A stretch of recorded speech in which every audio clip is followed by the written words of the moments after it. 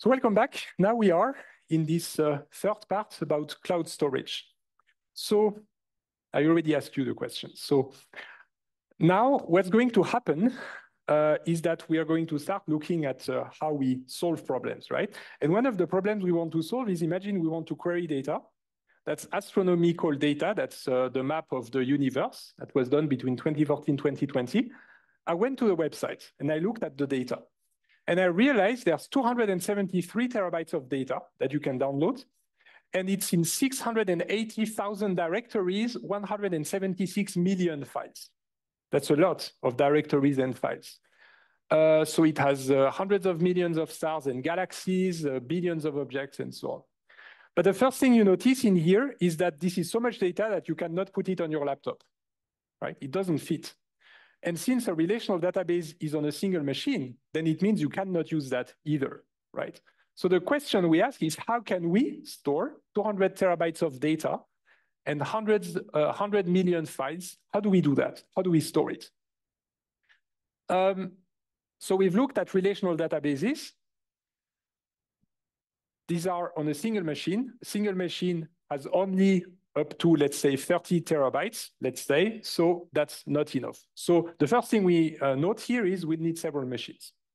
That's in any case. Um, but I have good news for you. Because even though we are going to have to um, move to something completely different, something that is uh, that uh, that uh, has never been seen before with the good old relational database management systems, the good news is we can still reuse a lot of the teachings of these uh, of these systems. So I would say I would be even as bold as to say that 99% of what we've learned uh, can be reused. So what I told you on selection, projection, grouping, sorting, joining, it's still going to be there, even when you have hundreds of terabytes of data a table with rows, columns, primary keys, when it still exists, you can still consider tables like that at these scales. Even with the three rules implemented, that also works. You can choose to break them, but you can also choose not to break them, right? So that still makes sense. Then languages like SQL, we'll see it still makes sense. The notion of declarative language, functional language still makes sense as well. The notion of optimization of query plan, the Greek letters, the query plan, indices, the alphabetical list at the end of the book, all of that still makes sense. That is great news because it means that everything you've been learning in your bachelor's lecture on relational databases still makes sense and can be taken to that domain of, uh, of big data. That is excellent news, right? But there's a few things that we are not going to be able to take to that domain. So I already told you, so that's not news normally to you, uh, this integrity constraints or relational integrity, I also call it tabular, it's relational integrity, domain integrity, atomic integrity, we can throw them away, right? So this will consider systems that don't have them, that's NoSQL. Uh, the second normal form, third normal form, Boyce-Codd normal form, so Boyce-Codd is 3.5 normal form, all of that can go away, right? Um, what we'll have, however, is the notion of heterogeneous data right? Data that doesn't even have a schema. We'll have the notion of nested data. That's the one that breaks. So heterogeneous data can be seen as breaking the, the first two uh, things, so relational integrity, domain integrity, then it's heterogeneous. Nested data can be seen as breaking atomic integrity because you have tables in tables, and more generally, the notion of denormalized data. So that word denormalized, you're going to hear it a thousand times during that lecture, right? We're going to to massively denormalize data, right? So we'll reuse a lot, but there's a few things that are going to feel a bit different because of the scale that we are going to be looking at. But nevertheless, we will keep in mind a few um, architectural principles in the way that, uh, that, that uh, things are uh, uh built. Uh, in the 1970s, the relational databases are considered monolithic. It means it's a single piece of software you install on your laptop or your server, and that's it, on a single machine.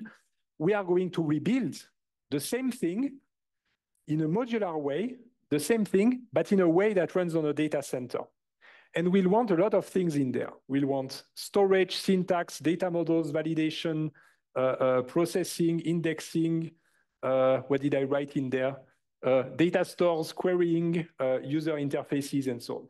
We basically are going in the semester to work, work our way up that stack and reinvent all of these components in a way that at the end, we more or less get the same functionality plus minus. So these are the things that might differ, but we are going to rebuild that whole stack. So today we are going to talk about storage with local file systems. Uh, uh, HDFS is going to be the week after that. S3 Azure Blob Storage. We're going to be looking at uh, encodings very quickly, just that the way when you store files on storage, you can encode them in various way, various ways. Then you have syntax. CSV is for tables, XML, JSON for trees. RDF is for uh, uh, graphs. Turtle is also for graphs. XBRL is for cubes. So we'll look a little bit at syntax. Data models We'll look at tables. We already looked at tables, but we'll also look at trees, at graphs, at cubes. So a lot of uh, different uh, shapes of data. Then we'll go into validation. We'll look into XML schema, JSON schema, JSound, Relational schemas, that's what we already know. It's the columns and types of uh, that you have in there. XBRL taxonomies for data cubes. So this is going to be validation. Then we look at processing. It's probably the coolest part of the lecture because this is when the data center is set into motion with MapReduce. Who heard of MapReduce? Who heard of Apache Spark? Okay, this is what we are going to look at. Now we are going to play with the data in the data center. Okay, uh, then the indexing, it's pretty much the same as in a relational databases, but we still rehearse them a little bit with uh, B trees, B plus trees, hash indices, and so on. Uh, then there's data stores. A data store is basically like a mini database system. It's not quite a full-fledged database system with ACID uh, guarantees and with a high-level language and so on. It's kind of a mini version of that that might have an API rather than a query language that might uh, not be fully ACID. Uh, and uh, we'll also discuss these things, but at least it's already a system that is integrated and that works out of the box. Uh, then you have the querying layer that makes it a true database uh, system. Uh, SQL, we are brushing it up. JSONiq, we look at it. XQuery is the same for XML. N1QL, MDX is for cubes. SPARQL is for graphs. Uh, so we look at uh, also querying aspects. And finally, user interfaces, it's uh, like when you use different ways of accessing the system, like a spreadsheet, Microsoft Access, Tableau, QlikView, BI tools. I should have put ChatGPT in there as well because this is the direction that this is taking, right? You have an LLM and the LLM is interacting then with an underlying layer, right? We are not quite there yet, as you know, but in the moment that we actually do manage to connect LLMs to systems like this that provide reliable data, then that will be a, a, a really good step uh, forward. All right. Okay, and today we focus on storage, and then that's going to be the rest of the semester for the, the rest of the stack, right? So we'll have 13 weeks left to cover all of that. Okay, but we'll take it step by step. Now it's a regular lecture, regular material, so I'm going to go through it uh, slowly. So that's the first problem we try to solve. How do we store the data? All of these uh, stars and galaxies that are taking hundreds of data. Well, we need to put it somewhere, right? It needs to go somewhere. There is this saying that uh, quantum information people like to say that information is physical, right? You need to store information. It has to be on some physical layer with, in the end, atoms and molecules or light. Okay, so it needs to be stored somewhere. Now, we will see during this course that there are two main paradigms to store the data. One paradigm is the one you have in PostgreSQL. You need to import the data into the database. You have SQL commands for that, right? It's called ETL. We'll come back to that, extract, transform, load. You load the data into the database, and the database system takes care of the rest. So if you load it into PostgreSQL, you don't have to worry about how PostgreSQL is going to put it on the disk because that's taken care of. It's invisible to you. That is the traditional approach to storing the data, right? You import it and then let the system take care of it. Another way to look at data that is a bit more modern is the concept of a data lake. Who already heard of a data lake? Right? Okay, many of you. So the idea of a data lake is that instead, instead of importing the data into a system and letting the system worry about how to, to store it, when in a data lake, you directly store the data in a file system. These are files. So you store XML files, JSON files, CSV files, all you want. You directly store it on a data lake and you see them as files and directories. So this is called the data lake approach. It's very convenient if you only want to read the data. if you want to modify the data, you quickly notice that this starts breaking and it's not very convenient, right? But for read-intensive setups, OLAP, we love data lakes for that, for that reason, right? So examples, if you look at uh, using pandas with Python, you are in fact using the data lake approach, right? Uh, it's also called in situ. It means that you put the data and you query it where it is without the need to import it. Okay, we have a question? Yes?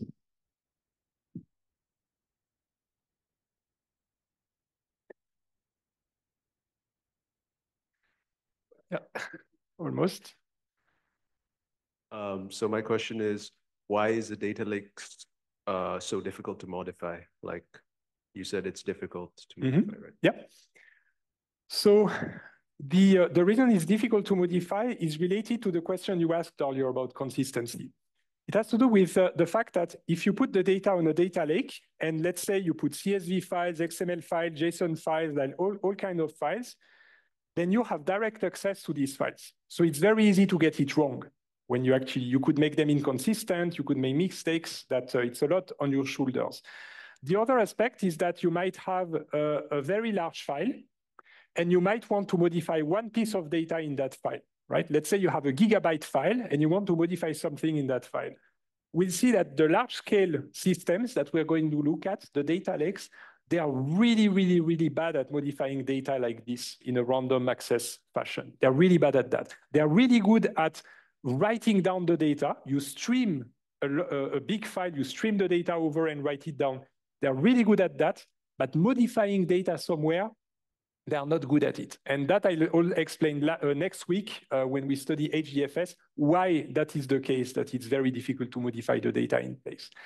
And the third reason why it's difficult to modify the data uh, is that you might have multiple people trying to access the data at the same time, right? And then you really need to be on that side of things with a, a, a traditional system if you want to handle multiple users and transactions and ACID uh, and so on, right?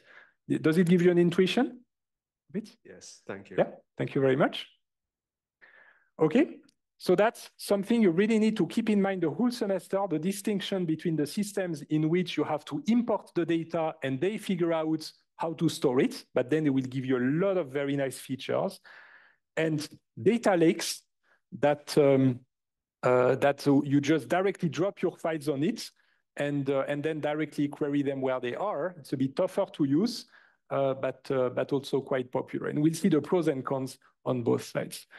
Uh, by the way, also to complete my answer to your question, there is a system that allows you to make updates to a data lake that's called the Delta Lake. Who already heard of the Delta Lake of Databricks?